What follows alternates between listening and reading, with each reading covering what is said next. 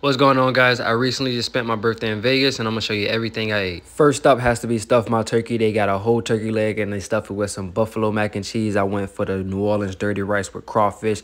Then these chicken and waffles was absolutely amazing. Sweet potato syrup was crazy. So now let's take a ride to go find some tacos. My man wanted some he can dip so we went and found some birria. And you already know if you can't dip it, it ain't authentic. And you know we had to try the ramen. The ramen was absolutely mind blowing and it came with a taco inside. That was crazy. Now let's take another drive. We vibing all through Las Vegas baby. And we found Dave's Hot Chicken. You can pick your spice. I went with medium, but this is one of the top chicken sandwiches I ever had. Definitely recommend. Then we found this really nice crab house and sports bar. Man, listen, these crab mac and cheese balls was absolutely crazy. And they had a giant Philly. So you know we had to see what that was about. And you know I can't get regular fries at a crab house. This was absolutely amazing. And I'm already making my reservation for next year for Hell's Kitchen. Safe to say none of the food missed Las Vegas. I will see you again, especially when it's not 40 degrees.